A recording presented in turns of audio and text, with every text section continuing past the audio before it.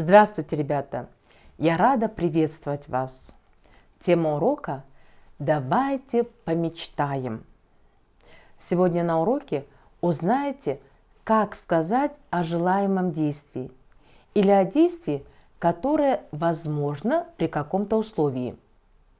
Научитесь использовать форму сослагательного наклонения.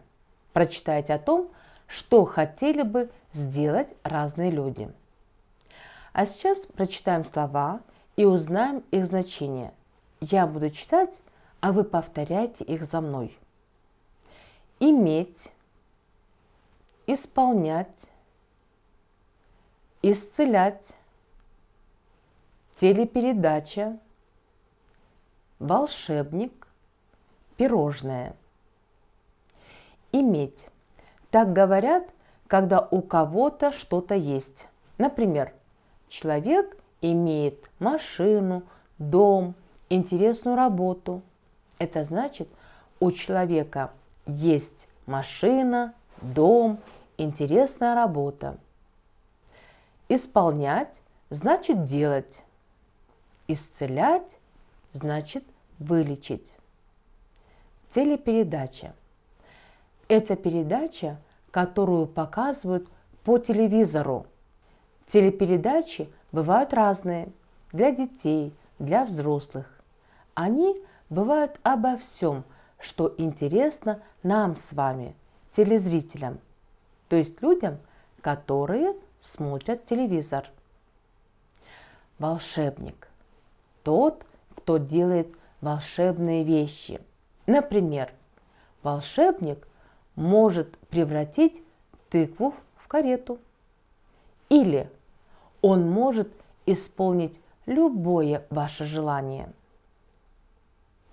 Пирожное. Не буду объяснять, что это. Мне кажется, вы знаете. Лучше покажу. Учимся употреблять слова, как говорят по-русски. Иметь что? Мечту. Исполнять, исполнить что? Желание. Исцелять, исцелить кого? Больных. Ребята, подумайте, как дополнить предложение. У вас есть время.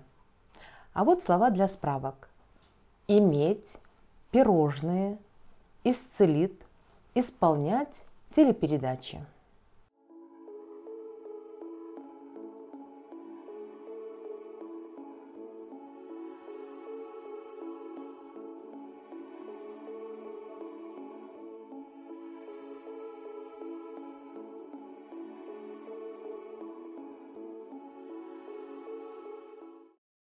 Проверим? Волшебное лекарство исцелит больного. Аня очень любит сладости. Конфеты, пирожные, шоколад. Дедушка часто смотрит телепередачи о животных.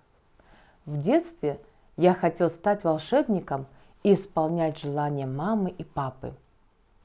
Все люди должны иметь мечту. Какие слова похожи по значению? Соедините их в пары. Исцелить – телепрограмма «Делать». Исполнять – вылечить – телепередача.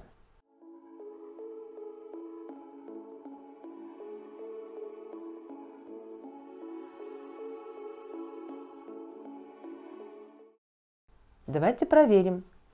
Исцелить, вылечить, телепрограмма, телепередача, делать, исполнять. А теперь предлагаю провести небольшое исследование. Послушайте стихотворение.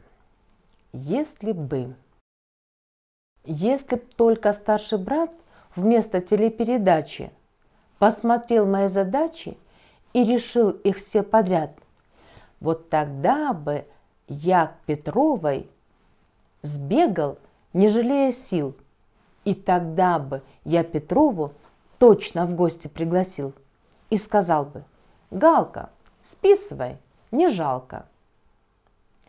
Обратите внимание на выделенные в стихотворении слова. Если б посмотрел и решил, сбегал бы, пригласил бы, сказал бы. какое действие они обозначают. Реальное или то, которое хотят, желают. То, которое хотят, желают. При каком условии эти действия могут совершиться? Если б только старший брат вместо телепередачи посмотрел мои задачи и решил их все подряд. В какой форме стоят глаголы? Как в настоящем времени, как в прошедшем или как в будущем? Как в прошедшем времени. Какое слово придает им значение нереального действия? Бы. Ребята, чтобы выразить желаемое действие или действие, которое возможно при каком-то условии, нужно задать вопрос, что сделал бы, что сделала бы, что делала бы, что сделали бы. И употребить глагол в условном или по-другому сослагательном наклонении. Условное или сослагательное наклонение глагола образуется так. Глагол в форме прошедшего времени плюс бы или б. Ребята, выполним задание из вашей рабочей тетради. Оно на 50 странице. Найдите глаголы в форме условного наклонения в следующих предложениях. Если бы Аида – хорошо рисовала, она нарисовала бы мамин портрет. Если бы в воскресенье не было дождя, мы поехали бы в горы. Если бы Нурбек не заболел, он пошел бы с нами играть в футбол.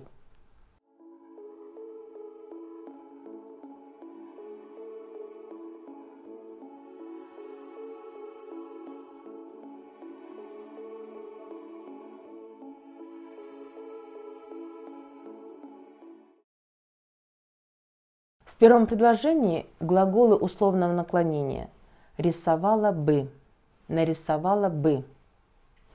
В следующем предложении не было бы, поехали бы. И в третьем предложении о Нурбеке не заболел бы, пошел бы. Уверена, вы хорошо справились с заданием. А теперь восстановите предложение. В предложениях, ребята – Глаголы даны в скобках. Используйте эти глаголы в форме условного, а по-другому сослагательного наклонения. Вам поможет образец. Если бы Азат играл с нами, мы бы не проиграли.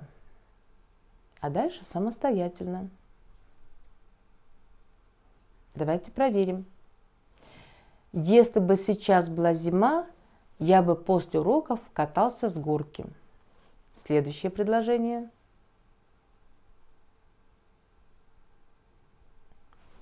Проверим. Если бы ты приехал летом, мы бы вместе отдыхали на Иссыкуле. Третье предложение.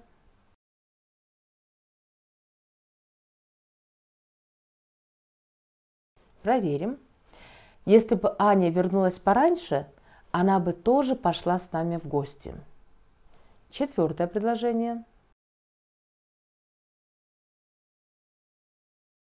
Проверим.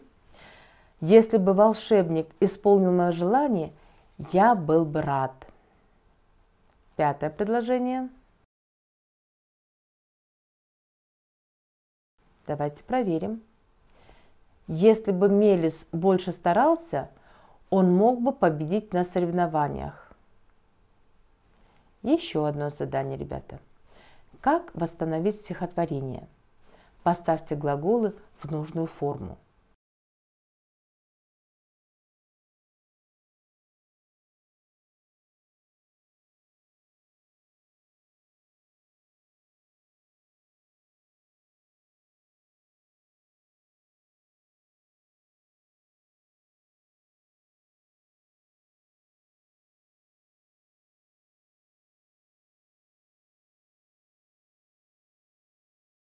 Проверим? Если б мыло приходило по утрам ко мне в кровать, и само меня бы мыло, хорошо б это было. Если б книжки и тетрадки научились быть в порядке, знали б все свои места, вот была бы красота. Ребята, какие необычные желания, правда? Это стихотворение написал очень известный детский поэт Борис Захадер. Послушайте еще одно замечательное стихотворение другого поэта, который тоже писал для детей. Его зовут Джани Радари. Подумайте, как можно озаглавить стихотворение? Я решил бы, я сказал бы, поспешил бы, написал бы – да чего же замечательное наклонение сослагательное. Нет, постойте. Вначале я сыграл бы на рояле. Я сыграл бы, коль умел бы. Если мог бы, полетел бы. Я бы съел вагон пирожных, если только их имел бы. Вы, наверное, придумали название – к сожалению, ребята, я не знаю какое. А вот как я бы назвала это стихотворение. Я бы. Ребята, вам в стихотворении встретилось слово «коль».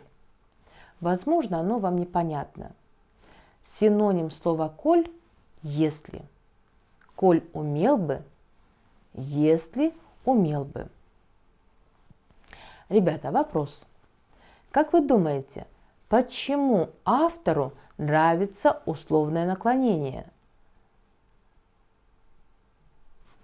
Мне кажется, оно нравится, потому что в условном наклонении автор может делать все, что хочет.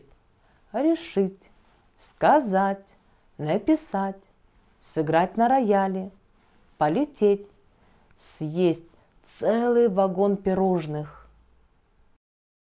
еще одно задание. Как восстановить текст? Подумайте.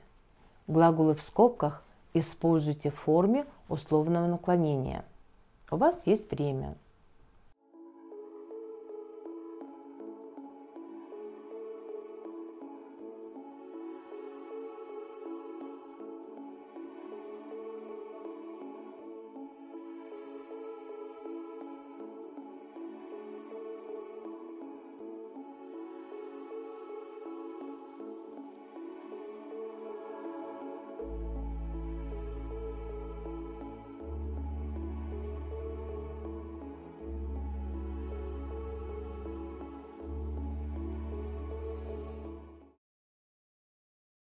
Давайте проверим. В одном городе жил старенький садовник. В молодости у него была мечта – вырастить чудесный сад, где цвели бы прекрасные цветы, росли бы и давали бы плоды деревья. Мечта его сбылась, и сейчас у него есть свой сад. Теперь у старого садовника появилась новая мечта – он хотел бы стать волшебником. Если бы он был волшебником, он вырастил бы чудесный цветок. Этот цветок исполнял бы желания, исцелял бы больных людей, делал бы всех людей счастливыми. Ребята, рассмотрите картинки и подумайте, о чем думают эти люди. Закончите их мысль. Я вырастил бы здесь сад, если бы... Думаю, он сказал бы, я вырастил бы здесь сад, если бы была вода. О чем думает этот мальчик? Я сделал бы домашнее задание – этот мальчик, наверное, сказал бы, я бы сделал домашнее задание, если бы я мог. На что смотрит этот доктор? О чем она мечтает? Как вы думаете?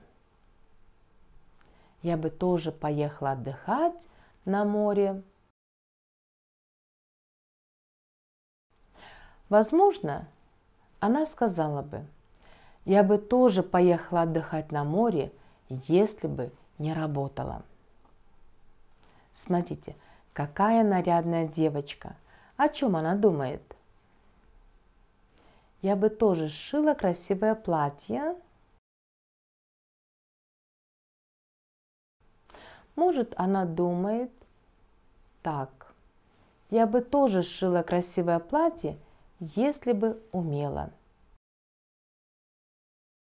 Ребята, когда, при каком условии могут совершиться эти действия?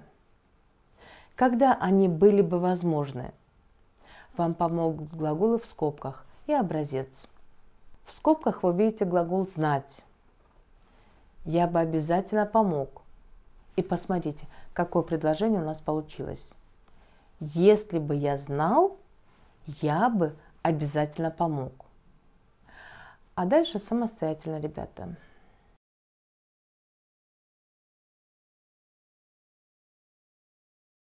Давайте проверим. Если бы он выздоровел, он пошел бы в школу. Следующее предложение. Давайте проверим. Если бы она выучила, она бы исполнила эту песню. Следующее предложение. Проверим. Если бы мы вовремя проснулись, мы бы не опоздали. Ребята, мы теперь знаем все три наклонения глагола. Давайте вспомним, что они обозначают. Предлагаю небольшой тест – он есть в вашей рабочей тетради. Выберите нужный ответ. Первое. Глаголы в изъявительном наклонении обозначают а. Желаемое действие или действие, которое возможно при каком-то условии. б. Реальное действие, которое происходило, происходит или будет происходить на самом деле. в. Просьбу, приказ, совет – что-нибудь сделать. Думайте.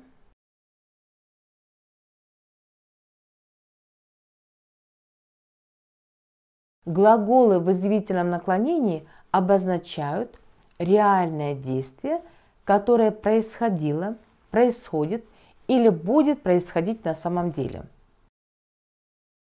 Глаголы в повелительном наклонении обозначают а.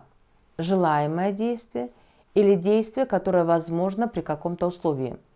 Реальное действие, которое происходило, происходит или будет происходить на самом деле. И вариант В. Просьбу, приказ, совет что-нибудь сделать. Думайте, ребята.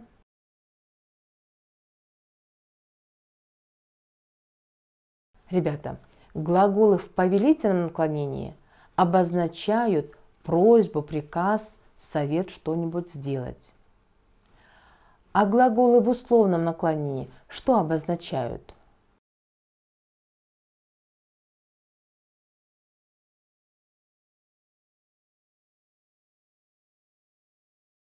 Глаголы в условном наклонении обозначают желаемое действие или действие, которое возможно при каком-то условии. Думаю, вы справились с тестом. Рассмотрите рисунок. Мальчик мечтает. Я сделал бы, я начал бы, я помог бы, я выучил бы. Как вы думаете, его мечты, желания сбудутся? Уверена, что вы ответили нет. Его мечты не сбудутся. Почему вы так думаете? Он лежит. Он ничего не делает. Что он должен сделать в первую очередь, чтобы его мечты сбылись? Я думаю, ребята, он должен встать с кровати. Встать и сделать первый шаг к мечте. Вот так. Вы согласны со мной? Наш урок заканчивается. Как вы продолжите работу самостоятельно? Ребята, мы сегодня читали и говорили о желаниях и мечтах разных людей.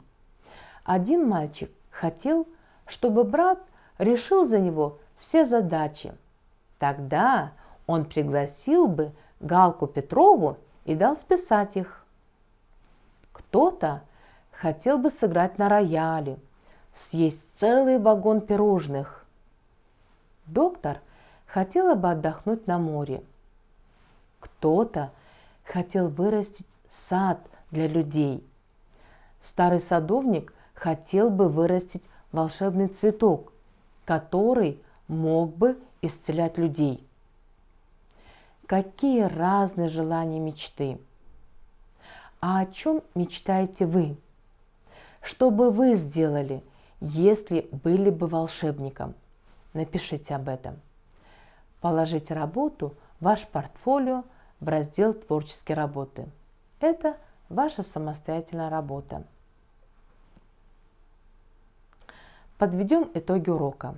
Ребята, сегодня вы узнали, как сказать о желаемом действии или о действии, которое возможно при каком-то условии. Учились использовать форму условного или по-другому сослагательного наклонения. Прочитали о желаниях разных людей. До свидания, ребята. До новых встреч!